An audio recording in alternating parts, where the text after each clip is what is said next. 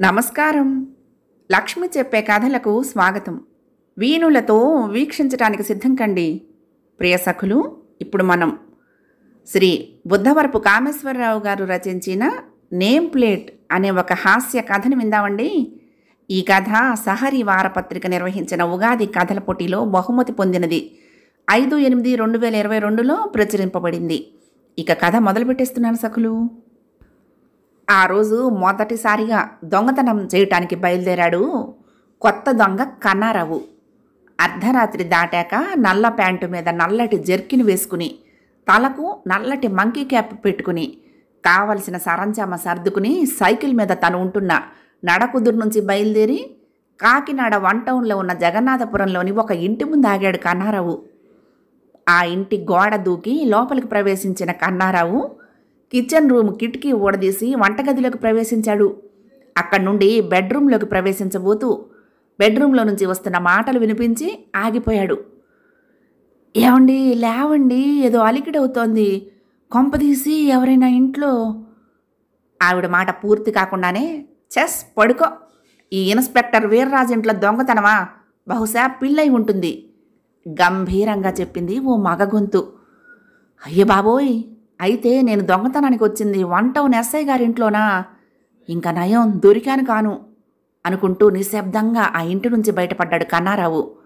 ఈలోగా ఓ ఇద్దరు కానిస్టేబుల్స్ ఆ సందు వైపు రావటం చూసి అక్కడి నుండి సైకిల్ మీద టూ టౌన్ వైపు రాకెట్లా తీసుకుపోయాడు కన్నారావు. టూ టౌన్ నూకాలమ్మ గుడి వెనక సందులో ఉన్న ఓ ఇంటి మీద పడింది కన్నారావు కన్ను. చప్పుడు కాకుండా గేటు తీసుకుని లోపలికి వెళ్ళిన అతనికి ఓ గదిలోని కిటికీ తలుపు తీసి ఉండటం కనిపించింది.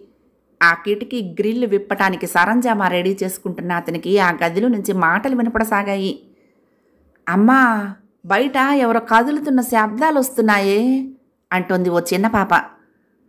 ఎంతో నీతి నిజాయితీతో పనిచేస్తూ నిప్పులా బతుకుతున్న ఇన్స్పెక్టర్ సాయి కుమార్ ఇంట్లో దోచుకోవటానికి ఏముంటాయమ్మా? ఏ పందికొక్కో అయి ఉంటుంది. నాన్న ఇంటికొచ్చే టైం కూడా అయింది భయం లేదు పాడుకో. బదులిచ్చింది తల్లి గొంతు. ఈలోగా దూరం నుంచి పోలీసు జీప్ సైరన్ వినపట్టంతో బెదిరిపోయిన కన్నారావు. ఊరు నాయనో ఇది టూ టౌన్ ఎస్ఐ గారి ఇల్లు అన్నమాట. ఆ వచ్చే జీపులో నుంచి ఆయన దిగేలోగా పారిపోవాలి అనుకుంటూ వాయువేగంతో సైకిల్ మీద సర్పవరం వైపు దూసుకుపోయాడు. మూడవ ప్రయత్నంగా సర్పవరం జంక్షన్ నుంచి నాగమల్లి తోట వైపు వెళ్ళే దారిలో ఉన్న ఓ కొత్త ఇంటి ముందు సైకిల్ ఆపాడు కన్నారావు. వీధి గదిలోని కిటికీ ఫ్రేమ్ తొలగించి హాల్లోకి వచ్చి దగ్గరకు వేసి ఉన్న బెడ్రూమ్ తలుపులు నెమ్మదిగా తీయబోతున్న అతనికి లోపల నుంచి ఏవో మాటలు వినపడసాగాయి. వీళ్ళ మొహాలు తగలయ్యా అర్ధరాత్రైనా పడుకోకపోతే ఇక మా డ్యూటీ ఎప్పుడు చేసుకోవాలి? అని విసుక్కుంటూ ఆ మాటలు వినసాగాడు కన్నారావు. ఇదిగో రాజ్యం ఈరోజు మా కమిషనర్ గారు నన్ను ఆకాశానికి ఎత్తేశారనుకో అంది మగగొంతు. కబూర్లు కాదు. ఆయన ఏమన్నారో చెప్పండి ముందు. గోముగా అడుగుతోంది ఆడగొంతు. ఈ ఇన్స్పెక్టర్ శోభనాద్రి వచ్చిన తర్వాత ఊరు బాగుపడింది. అందరూ హ్యాపీగా ఉన్నారు. ప్రమోషన్ కోసం ఈయన పేరును పై వాళ్ళకు రికమెండ్ చేస్తా అంటూ నన్ను అందరి ముందు మెచ్చుకున్నారే అంది భర్త గొంతు గది బయట నిలబడి ఈ సంభాషణలు విన్న కన్నారావు. దేవుడా! అంటే ఈ ఇల్లు త్రీ టౌన్ ఎనసై గారిదా? ఇంకా నయం గదిలోకి వెళ్ళలేదు. అయినా వీళ్ళకి ఇదేం బుద్ధో? హాయిగా గవర్నమెంట్ ఇచ్చిన క్వార్టర్స్లో ఉండకుండా ఇలా ఇళ్ళల్లో ఉండి మా పొట్ట కొట్టకపోతేనే అని మనసులో అనుకుంటూ బయటకొచ్చి దూరాన్నించి విజిల్ ఊదుకుంటూ వస్తున్న హోంగార్డుకు దొరకకుండా సైకిల్ మీద తారాజువ్వలా దూసుకుపోయాడు చీకట్లోకి. నిన్న రాత్రి మూడేళ్ళలోనూ కూడా ఏమీ గిట్టుబాటు కాకపోవటంతో ఈసారి ఎలాగైనా పకడ్బందీగా ప్లాన్ చేసి దొంగతనం చేయాలని నిశ్చయించుకున్న కన్నారావు ఉదయాన్నే రెక్కి నిర్వహించడానికి బయలుదేరాడు. మొదటి ప్రయత్నంగా జగన్నాథపురంలో ఓ ఇంటి వద్ద రెక్కి నిర్వహిస్తున్న అతని దృష్టి అనుకోకుండా నిన్న రాత్రి తాను దొంగతనం చేయబోయిన ఇంటి వద్ద గుమిగూడిన జనం మీద పడింది. అక్కడికి చేరుకుని ఏమైందన్నా? అడిగాడు కన్నారావు గుంపులో ఉన్న ఒక వ్యక్తిని. రాత్రి ఎవడో దొంగ కన్నం వేయబోయాట. అయితే ఆ ఇంటాయన కొంచెం తెలివి ఉపయోగించడంతో పారిపోయాట. చెప్పాడు ఆ వ్యక్తి.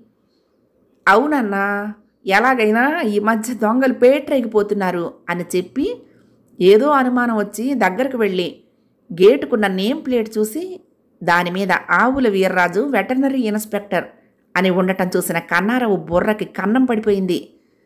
వెంటనే తేరుకుని అయితే ఈ ఇల్లు వన్ టౌన్ ఎస్ఐ గారిది కాదన్నమాట ఎంత మోసం? అయితే మరి మిగిలిన రెండిళ్ళు ఆలోచన వచ్చిందే తడవుగా టూ టౌన్లోని ఆ ఇంటి వైపు సైకిల్ తొక్కుకుంటూ బయలుదేరాడు కన్నారావు. ఆ ఇంటి ముందు ఉన్న నేమ్ ప్లేట్ మీద Chakram Sai Kumar inspector of factories అని ఉండటం చూసి ఎంత దాగా అని మూగగా రోదిస్తూ సర్పవరం వైపు తిప్పాడు తన వాహనాన్ని. నాగమల్లి తోటలోని ఆ ఇంటికి చేరుకున్న కన్నారావుకి అక్కడి నేమ్ ప్లేట్ మీద చీపురు శోభనాద్రి శానిటరీ ఇన్స్పెక్టర్ అన్న పేరు వెక్కిరిస్తూ కనిపించింది. అంతా మోసం దగ కుట్ర. వీళ్ళు పోలీస్ ఇన్స్పెక్టర్లు కాదన్నమాట. ఈ ముగ్గురిని వదలను. కన్నారావు పవర్ ఏమిటో చూపిస్తా. ఓ రెండు వారాలు బ్రేక్ ఇస్తా ఆ తర్వాత బొమ్మ దద్దరిల్లిపోతుంది అనుకుంటూ రథాన్ని నడుకుదురు వైపు మళ్ళించాడు కన్నారావు.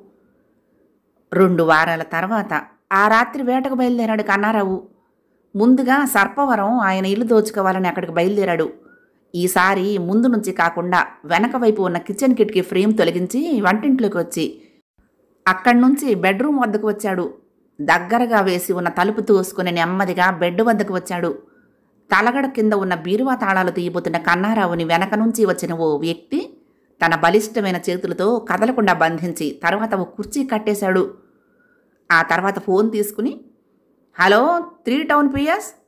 మన నగరంలో సుమారు నూట యాభై దొంగతనాలు చేసిన ఘరానా దొంగ మా ఇంట్లో దొంగతనం చేస్తూ దొరికాడు. అర్జెంటుగా జీప్ వేసుకుని రండి అని ఫోన్ పెట్టేశాడు. సార్ సార్ నేనా? నూట యాభైయా? అంటూ ఏదో మాట్లాడబోతున్న కన్నారావుతో షో మాట్లాడుకో అంటూ నోటికి ప్లాస్టర్ వేశాడు. ఆ తర్వాత పోలీసులు వచ్చి కొట్టుకుంటూ తీసుకుని పోతూ ఉంటే బొమ్మ దద్దరిల్లిపోవటం మాట దేవుడెరుగు వీపు బద్దలైపోయేలా ఉంది దేవుడోయ్ అనుకుంటూ మూలిగాడు కన్నారావు. పోలీస్ స్టేషన్కి చేరుకున్న కన్నారావు సారు నాదో అనుమానం. ఆ ఇంట్లో ఉంటున్నది శానిటరీ ఇన్స్పెక్టర్ చీపురు శోభనాద్రి గారు కాదా అండి? కానిస్టేబుల్ని అడిగాడు అమాయకంగా. లేదురా దొంగల భయం వల్ల ఆయన ఖాళీ చేసి అప్పుడే రెండు వారాలైంది. ఇప్పుడు ఉంటున్నది దొంగలకి సింహస్వప్నం లాంటి మా త్రీ టౌన్ పోలీస్ ఇన్స్పెక్టర్ నిప్పు అప్పారావు గారు. ఇల్లు హంగుగా ఉందని ఓ పది రోజుల క్రితమే మారారు. చెప్పుకుపోతున్నాడు కానిస్టేబుల్. బెక్క చచ్చిపోయి వింటున్న కన్నారావు వంక చూస్తూ. కథ సమాప్తం. ప్రియ సఖులు ఈ కథ మీకు నచ్చితే తప్పకుండా లైక్ చేయండి షేర్ చేయండి కామెంట్ చేయండి సబ్స్క్రైబ్ చేసుకుని నన్ను ఎంకరేజ్ చేయండి. ఉంటానండి. ప్రేమతో లక్ష్మి కృష్ణా తీరం దుర్గమ్మ సన్నిధానం. నమస్తే.